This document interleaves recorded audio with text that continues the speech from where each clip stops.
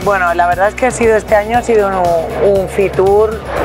mmm, con muchísimo movimiento. Yo diría que, que, bueno, ha sido para mí de los Fitures más exigentes que hemos tenido porque hemos tenido eh, pues desde una, una super presentación de una alianza estratégica con el BID, Invest y Banco Popular el lunes, en la que asistió el presidente de República Dominicana, los ministros de República Dominicana, los ministros de Turismo de República Dominicana y Jamaica, además de otras autoridades y personalidades. Entonces fue, la verdad es que fue un inicio, un inicio como muy sonado y muy bueno para el grupo a nivel de reputación. El martes se fue, fue también la entrevista con Excel Tour, con el foro este, eh, Excel Tour, eh,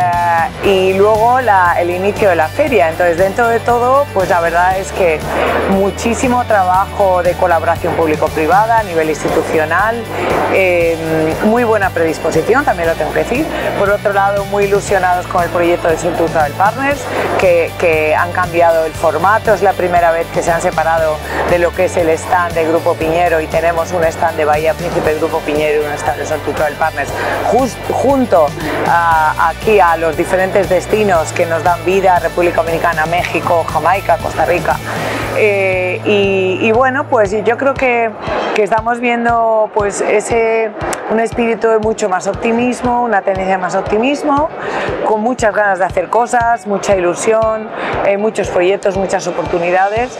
y, pero muy exigente. Han sido cinco días de, de, de, de mucha exigencia, pero me voy, la verdad es que me voy contenta porque hemos superado con crecer las expectativas de estos cinco días.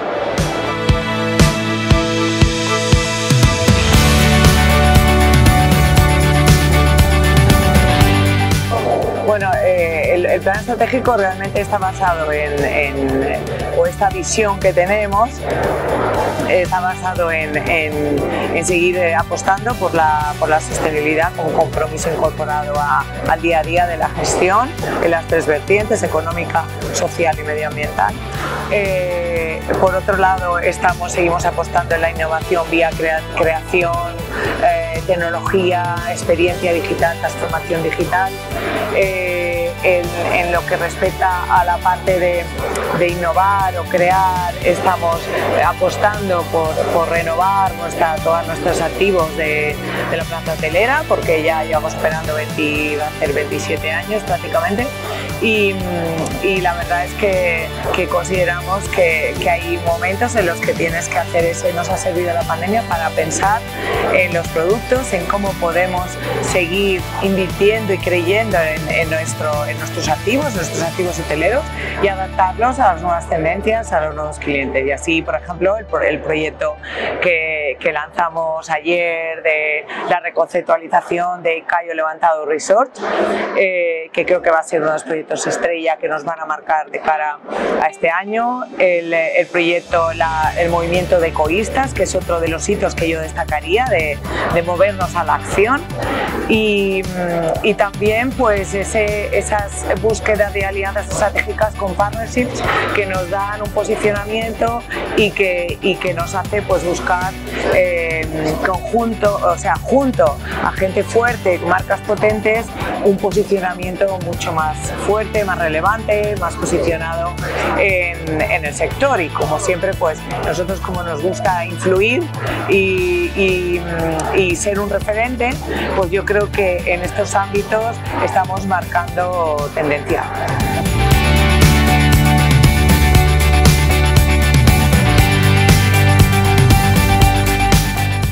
Pues eh, bueno, pues yo, te, yo me lo preguntaban esta mañana, yo para el 2022 preveo que va a ser un año de optimismo, de, de, de eh, de un optimismo pero con contenido, de un optimismo no, no desbordante. O sea, yo creo que va a marcar, por supuesto, va a ser el fin del Omicron, de, perdón, del COVID. El Omicron yo creo que va a ser el fin del COVID, o por lo menos eso es lo que todos ansiamos. Y, y yo creo que, que, bueno, que va a ser ese año de oportunidades, de crecimiento, de transformación, de, de una relevancia en las estrategias de las compañías de tanto de la tecnología como la parte de la sostenibilidad medioambiental y social, porque la, económica yo creo que ya, ya las empresas que estamos eh, hemos salido fortalecidas de todo esto y ya hemos hecho los deberes, como dicen, de crear un confort financiero, entonces yo creo que, que ahora tenemos que darle mucho más peso a la componente eh, de sostenibilidad social y medioambiental. Y yo creo que ha, supuesto como una sensibilización importante de cara a todas las organizaciones esto. Entonces yo creo que para el año 22 eh, estamos, yo confío en que seamos más optimistas, más responsables, eh, más comprometidos, honestos, transparentes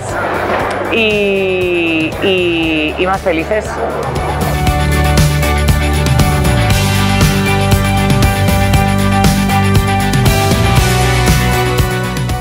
Bueno, yo creo que, que, bueno, estoy, la verdad es que estoy ilusionada, estoy eh, contenta del papel que está desarrollando el grupo, de la, de la repercusión que estamos teniendo en general. Esto yo creo que nos da reputación, nos, da solidez, nos da eh, garantía de marca eh, y, y, creo que de alguna forma nos da seguridad de que vamos a seguir siendo ah, una empresa relevante, que, que vamos a, que tenemos un proyecto encima de la mesa y que, necesito el apoyo de todos, porque este proyecto yo no lo puedo hacer sola, no lo podemos hacer el comité ejecutivo, necesitamos que todos rememos con fuerza, con ilusión a cumplir estos objetivos. Y, bueno, eso es lo que pido a todo el mundo.